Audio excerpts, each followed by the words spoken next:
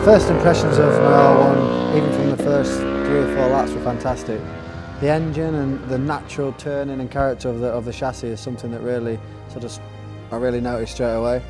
Um, the engine gives me a lot of feedback. I understand it quite well even early on, and you know the biggest challenge now is to, to unleash all the potential that the bike's got. So yeah, the, I had a smile on my face first time I entered the pit box, and uh, that's always a great sign.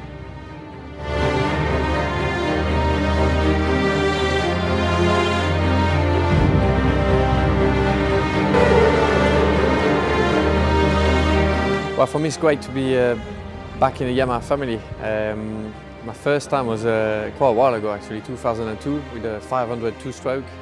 Um, then I was back with Yamaha in 2007 for my first season in MotoGP and then uh, back with the, the, the new World Superbike project. So um, it feels great, it feels great and uh, um, it feels great to be part of this fantastic challenge.